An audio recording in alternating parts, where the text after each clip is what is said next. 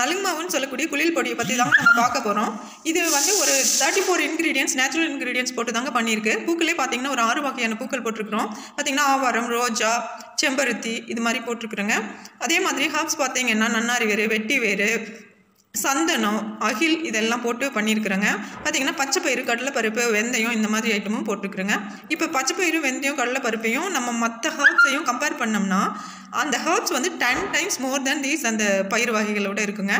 இப்போ இதை வந்து எப்படி குளி யூஸ் பண்ணலாம் அப்படின்னு பார்த்தீங்கன்னா ப்ளைன் வாட்டரில் கரைச்சி நம்ம சோப்புக்கு பதிலாக சப்ஸ்டியூட்டாக இதை யூஸ் பண்ணிக்கலாங்க. பூசி குளிச்சிக்கிட்டு வரலாம். ரொம்ப நல்லாயிருக்கும் இது வந்து ஒரு ஸ்க்ரப்பர் மாதிரி வேலை செய்யும். பூசிட்டு ஒரு ரெண்டு நிமிஷம் கழித்து நல்லா மசாஜ் பண்ணி குளிச்சோம்னா ரொம்ப நல்லாயிருக்கும் ஸ்கின்னு அப்புறம் பார்த்திங்கன்னா இது அலோவேரா ஜெல்லையும் கலந்து யூஸ் பண்ணலாம். தயிரில் கலந்து யூஸ் பண்ணலாம். பாலில் கலந்து யூஸ் பண்ணலாம். ரோஸ் வாட்டரில் கலந்து யூஸ் பண்ணலாங்க. முகப்பருவையும் கண்ட்ரோல் பண்ணும்.